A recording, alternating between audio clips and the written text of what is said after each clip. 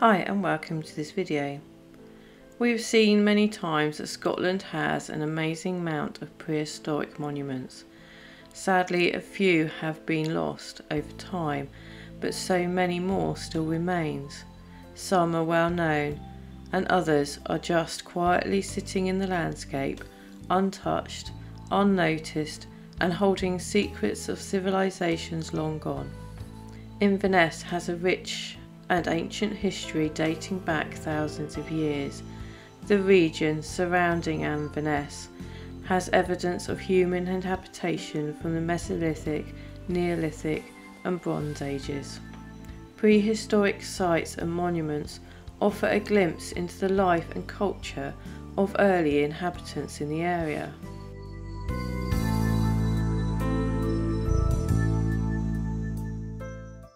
Most people, when they come here, will visit the well-known Clava cairns, as they are known, which are a style of burial mounds.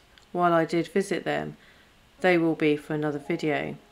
For this video, we are visiting one of the lesser known monuments. This is Torbreck Stone Circle, which was difficult to find. In true style, my first attempt on my own, I couldn't find it. Second attempt, and with some help, although it did take a while, we did finally find it. And I'm so glad we did, and it seems to be at the perfect time of day, just as the sun started to go down.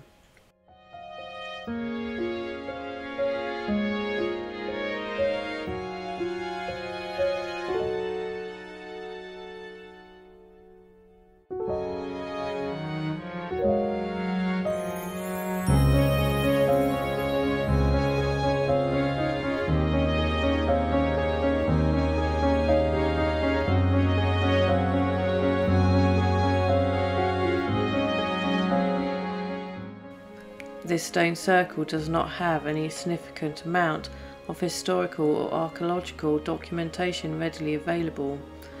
Although it does get a brief mention in Aubrey Burl's book The Stone Circles of the British Isles, it is a very brief mention as he mentions it is a stone circle, not a type of Clava cairn.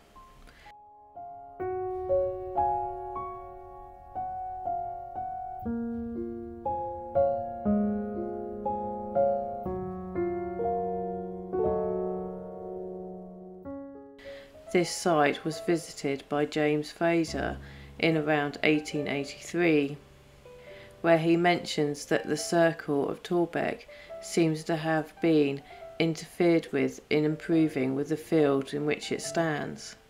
At one time, three concentric circles with a passage connected to the inner and outer rings were visible.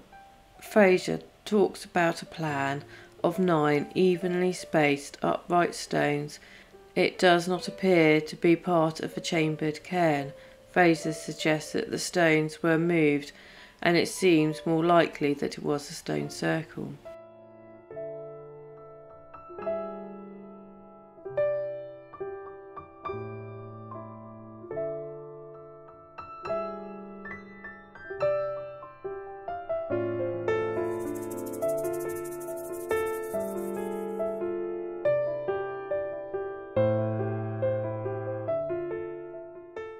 Start with, I couldn't find anything else out and was starting to feel it was going to be one of the stone circles with a big question mark over it. I was about to give up, but that wasn't until I found a report from an archaeological report dated 2003, but even then, the report wasn't a full excavation of the stone circle, but one because archaeological reports have to be completed when planning application for new buildings and this was the case. Neolithic pottery and flints were found in the area during the excavations which helped to date what was going on here. Given these findings, it's likely that this ancient origins Torbreck would have been part of a broader prehistoric landscape of Scotland, where ritual activities and gatherings, and possibly even astronomical observation took place,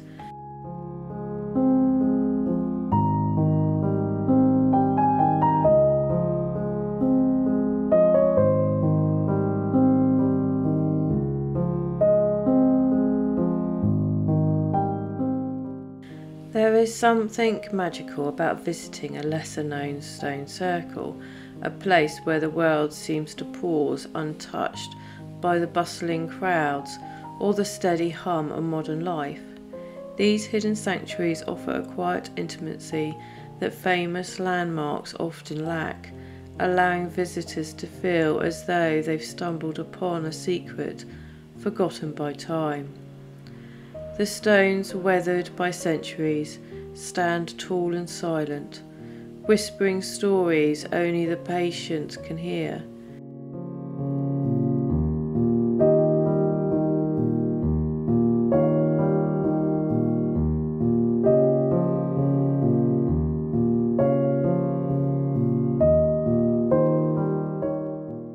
In the stillness, there's a sense of connection not just to the earth beneath your feet, but to the countless generations who stood there before you, drawn by the same inexplicable pull. Here, nature reclaims the space, and the simplicity of the surroundings invite a kind of reflection that's hard to find elsewhere. In these monuments, away from the crowd, that the true magic of such places reveal itself, speaking to the part of us that craves solitude, history, and the mystery all at once.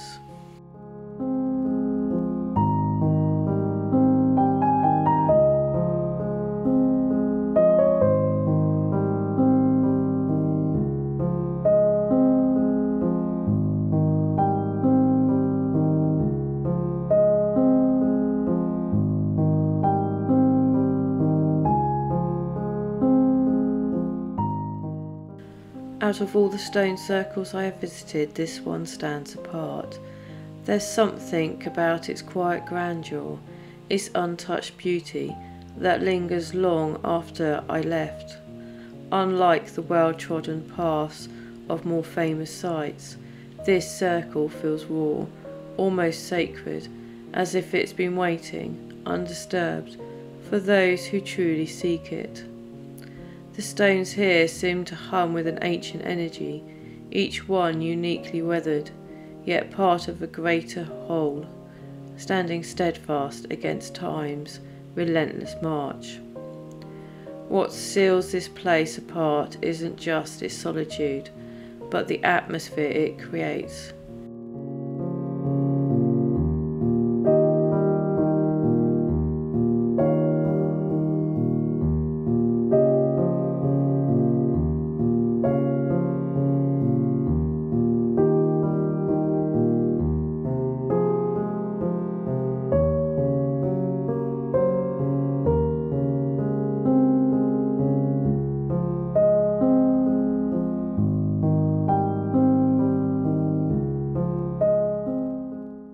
There's a stillness in the air, feeling that the earth beneath is rich with stories of untold secrets that only reveal themselves to those willing to listen. Here, away from the noise of the world, we can feel the pulse of something older, something primal. Each stone carries the weight of centuries, as if silently watching, waiting for the right moment to reveal its mysteries in this circle, you're not just a visitor, you're part of its long history, standing where others stood, feeling what they might have felt. It's not just the stones themselves that capture you, but the way they interact with the landscape, the play of light and shadow, the wind that seems to carry whispers, and the sense that you're standing on the crossroads of time. This is more than a destination. It's a reminder of our small place in this grand tapestry of history. For me, that's what makes this circle unforgettable.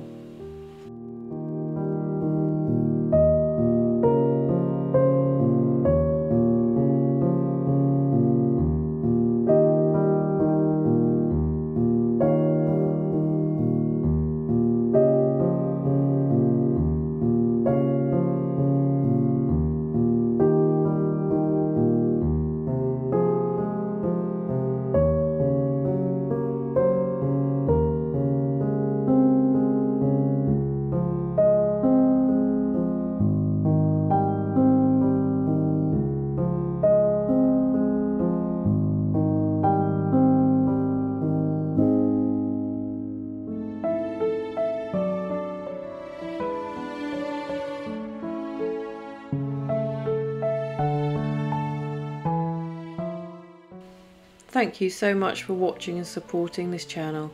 I truly appreciate every single one of you.